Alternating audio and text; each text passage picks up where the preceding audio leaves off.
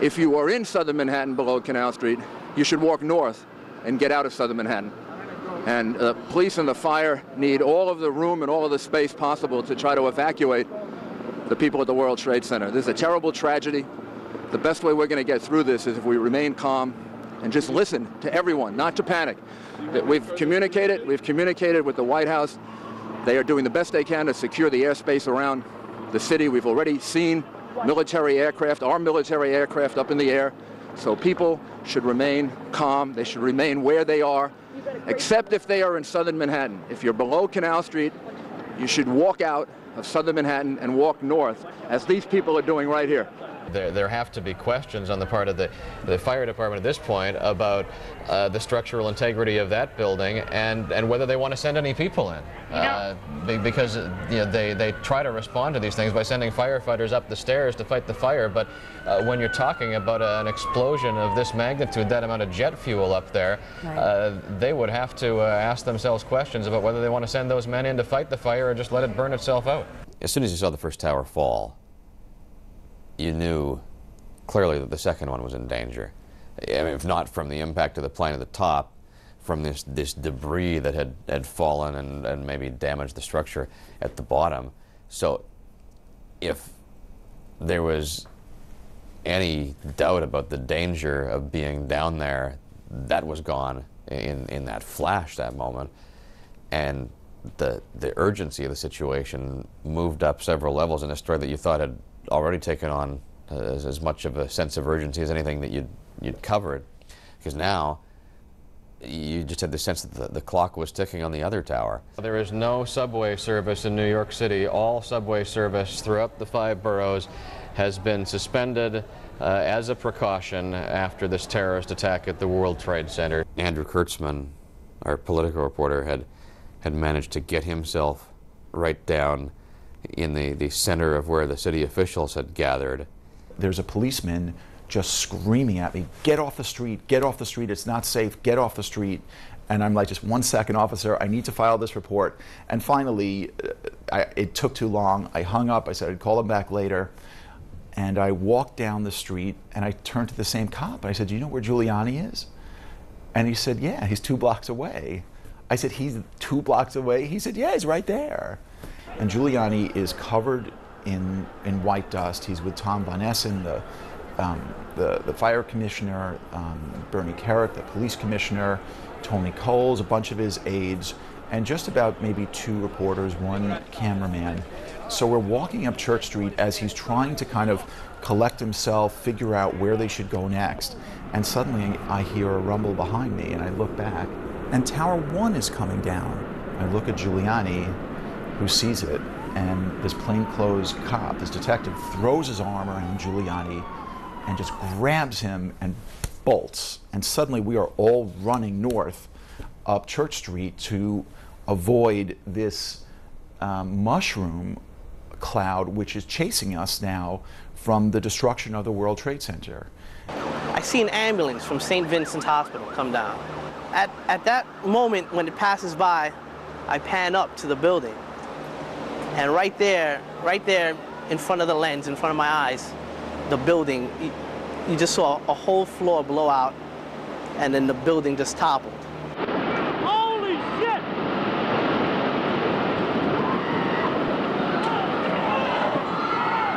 A big tidal wave of, of dust starts, just shoots up Church Street. You know, and it, it's just sucking people in. You see people running, and, and the, the cloud just engulfs them. We sensed after the first tower collapsed that it would just be a matter of time before the second tower collapsed. What would be different? Um, we didn't think, I didn't think it would happen so soon because the second tower, the north tower, the plane hit the north tower higher than it hit the south tower. So um, we thought that the structure, the south tower was, the damage was further, more weight obviously on the impact zone and therefore it crumbled first. Um, didn't think the North Tower would come down, but by the time it did, we were prepared for it, so to speak, and we were closer to the truck than the first time, and were able to almost like uh, the people who were with us the first time, some left, some stayed.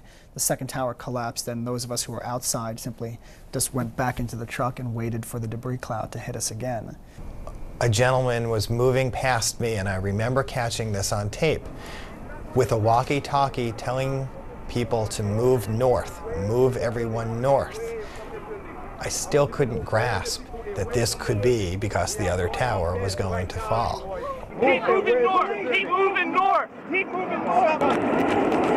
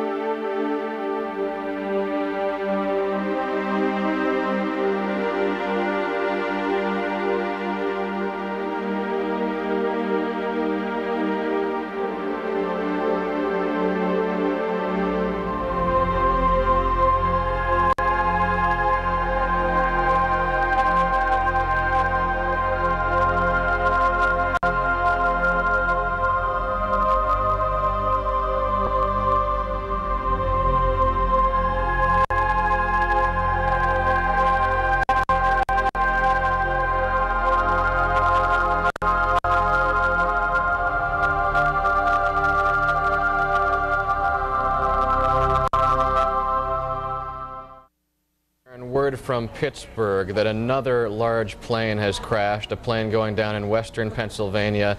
Uh, officials at the Somerset County Airport in western Pennsylvania near Pittsburgh say another large plane has crashed there. It was pretty clear when we heard about the Pentagon crash uh, what had happened there, that it was another target of one of these planes. It wasn't so clear with with the crash in Pennsylvania because we heard that a plane had gone down, uh, apparently in a field, and it wasn't clear until hours or, or, or days later that there had been this, this struggle on board the plane with the, the passengers and the hijackers fighting for control of the plane. So all we knew initially was that somewhere in Pennsylvania a plane had crashed, and we didn't initially know whether it was coincidental or whether, in fact, it, it was related. And it really wasn't clear from the beginning what the destination of that plane was, only that another jet had gone down in a morning of, of tragedy.